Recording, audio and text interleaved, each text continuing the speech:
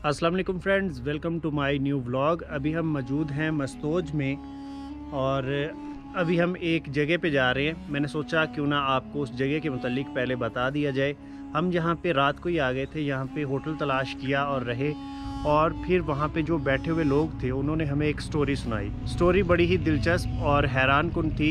एक बुज़ुर्ग बोले, उन्होंने कहा कि यहाँ पे काफ़ी अरसा पहले दो भाई थे। एक भाई ने दूसरे भाई का कत्ल किया और उसको ले जा के किसी जगह पे दफन कर दिया। काफ़ी आबादी में ये बात फैल गई कि उसने अपने भाई को कत्ल किया है, लेकिन उसकी लाश कहाँ पे छिपा दिया उसका मालूम नहीं। फिर काफ़ी अरसे बाद अल्लाह का करिश्मा हुआ कि उस जगह पे जहाँ पे उस भाई ने अपने भाई को कत्ल करके दफन किया था, वहाँ से खून जो है वो रिसने लगा। लोग वहाँ पे गए, उन्होंने देखा कि यहाँ से खून जो है, वो निकल रहा है। खून इतना ज़्यादा था कि जैसे वहाँ से चश्मा निकला हुआ था। लोगों ने खुदाई की और उन्हें वहाँ पे वो लाश मिल गई। तो इस तरह से अल्लाह ने मुआवजा किया और जो कातिल था, वो पकड़ा गया। तो मुझे ये कहानी पे बिल्कुल यकीन नहीं हुआ। ऐसे मन गढ़त सी ये कहानी जो है मुझे लगी। फिर लोगों ने कहा कि आप उस जगह पे जाइए और देखिए, आज भी वहाँ पे खून रिश्ता है। और वहाँ पे वो चश्मे की सूरत में आपको खून उबलता हुआ दिखेगा। तो हम लोग बड़े हैरान हुए।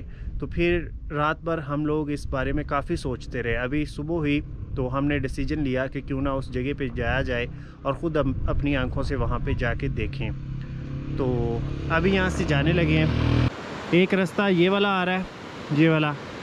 ये चतराल से आगे मस्तोज तक आता है और ये मस्तोज का पुल है जहाँ पे मैं अभी खड़ा हूँ। तो यहाँ पे जब आप आएँगे तो इस पुल के सामने यहाँ पे जो ये वाला रास्ता जा रहा है, सीधा ये वो आगे तक। मुकामी लोगों ने हमें बताया कि यहाँ से आप अगर 20-25 मिनट सफ़र करेंगे तो आप उस जगह पे पहुँच जाएँगे। और ये रास्ता कुछ ख़राब लग रहा है।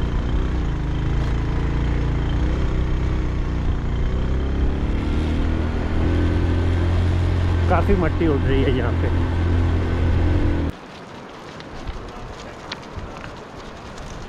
ये देखें नाजरीन ये होती हैं पहाड़ी बकरियाँ और इन पे इतने इतने बड़े बाल ये देखिए। और ये बर्फ़ में भी रह लेती हैं। हमारे इलाकों में जो बकरियाँ होती हैं ना वो इन इलाकों में सरवाइव नहीं कर पा, पाएँगी। काफ़ी सारी बकरियाँ।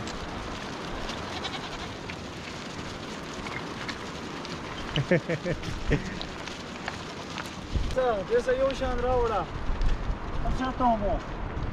उर्दू में बात करें हमें नहीं समझ आ रही है हमारा कर लो यार फ़ोटो करो इसका ना लियो क्या नाम है इस बकरे का? इसका इसका माजबीन। अच्छा हाँ। और आपके पास कितनी बकरी हैं? ये मारी नहीं है ये एक गाँव की बकरी है यार। अच्छा अच्छा कंट्रोल करते हैं। ये कितनी आप यहाँ पे लेके फिर रहे हैं बकरियाँ? ये, तकरीबन छह सौ। छह सौ बकरी माशाल्लाह। बकरी है यार। या सारी सारी एक लोकन की बकरी है नेकन की सही। हम मजबूर है यार जो बस चंद का कहते हैं पंद्रह हज़ार या सोलह हज़ार हम तब जड़ा यार उसका पास। तपास सही। क्या अच्छा। नाम है आपका? नूर इस्लाम। नूर इस्लाम। नूर इस्लाम यहीं के रहने वाले हैं? हमारा खास घर द्रोश माँ अच्छा द्रोश माँ हाँ। और ये बकरियों को आप चराने के लिए यहीं पे ले आते हैं? हाँ, यहाँ पे वापस पहाड़ तो सारे खुश्क हैं। बस इस पहाड़ पर चार के वापस ये रात ना नेकों का हवाला देनी है शाम को वापस अपने घरों सही सारा दिन मतलब आप चराते बस ये करना यार मजबूर है मैं सब ड्यूटी है बस मजबूर है यार कुछ बस नहीं है। पचास साठ न तालीम है यार न कोई रोज़गार है बस यही बकरियत हमारी बस पचास साठ आदमियों की बकरी है। और कुछ भी नहीं है साहब। बस अल्लाह ताला ने हर इंसान का रिजक किसी न किसी चीज़ में लिखा हुआ है। हाँ, अल्लाह ने तकदीर में लिखा हुआ जी बिल्कुल। यहाँ से खूनी चश्मा कितना दूर है? हाँ? खूनी चश्मा। लाल चश्मा। यह गाँव शुरू है। इसका हाँ, हाँ। तरला ही सर है। अच्छा अच्छा। तरला इस डाटा है इस डाटा वो तुम्हारा घर है एला सर है। हाँ। निकी निकी डारी है यार मकान है। हाँ हाँ। उसका तरला ढाता है गाँव शुरू है बस इसी टाइम और रास्ता में ऐसा सेट तक करके। हाँ हाँ। और तरला पास जरी के ले गया उस खम खब पानी मिला हुआ है। शुक्रिया। ओके जी, अल्लाह हाफिज़।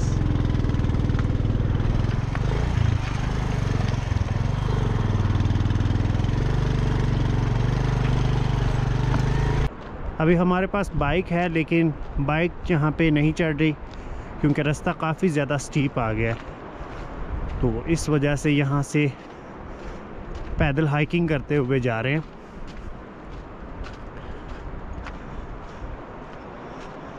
बड़ी अजीब सी जगह है। अभी यहाँ तक बाइक का रास्ता था, लेकिन यहाँ से आगे पैदल नीचे उतराई है, उस चश्मे की तरफ़, जिसके मतलब मशहूर है कि वहाँ से आज भी खून रिश्ता है। तो अभी जाके ख़ुद अपनी आँखों से देखते हैं कि क्या ऐसा हकीकत में है, या कि महज ऐसी झूठी कहानियाँ बनी हुई हैं।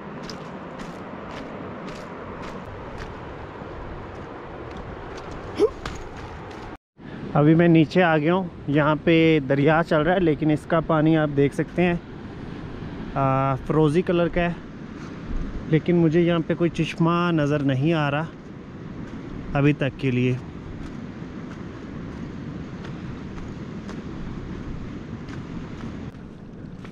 यहाँ पे पानी का कलर आप देख सकते हैं। यहाँ पे खून मिला जैसे सुर्ख पानी है और यहाँ पे इन जगहों से जैसे खून रिस रहा है। आगे चल के यहाँ पे थोड़ा देखते हैं करीब से। ये देखिए नाजरीन। यहाँ से जैसे खून रिस रहा हो अजीब सी कशमकश है यहाँ पे।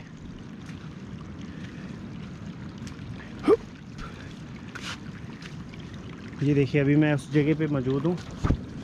और ये ये देखिए।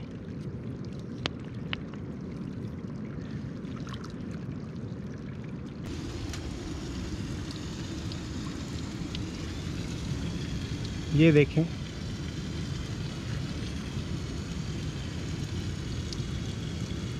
ये सुर्ख किस्म का पत्थर है जो नीचे यहाँ पे जर्दी माइल हो चुका है और जहाँ पे गहरा ये देखें। अजीब सी किस्म का पत्थर है। आगे देखते हैं शायद आगे कोई जगह मिले। लेकिन ये मुझे कोई ऐसी दांत लग रही है। ये देखें, यहाँ पे पानी जो है यहाँ से उबल रहा है। ये आप देख सकते हैं। ये देखिए, पानी ज़मीन से निकल रहा है। और यहाँ पे सुरख सुरख ये कलर है। ये देखें।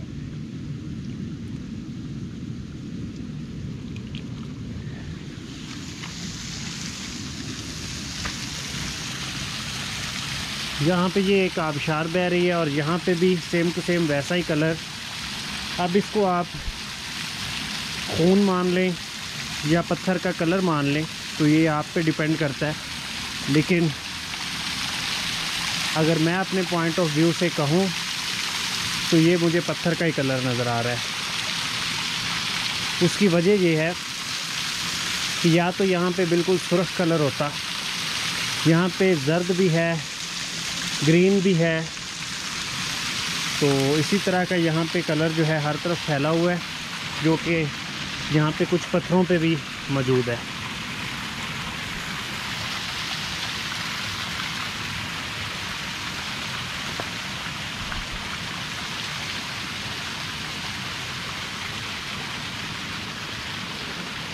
ये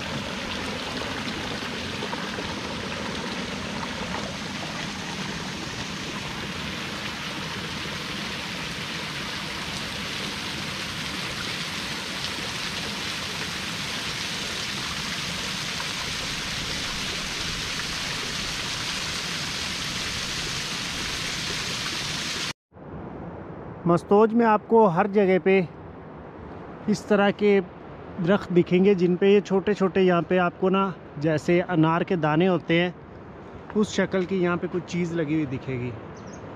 और जहाँ पे मैंने बच्चों को देखा है इन्हें खाते हुए, इनको उतारें, इनके ऊपर यहाँ पे रुकें ज़रा। ये इस तरह के, मैं थोड़ा आपको यहाँ से क्लियर दिखाऊँ। यहाँ पे नीचे भी काफ़ी गिरे हुए हैं। तो ये ऊपर वाला छिलका जो है, ये उतार के यहाँ पे, ये देखें। और इसका जायका जो है ना चटपटा है खट्टा मीठा और बहुत मज़े की हैं ये देखिए। और ये यहाँ पे हम्म, मीठा खट्टा यहाँ पे बहुत ही मज़े के ये लगे हुए हैं।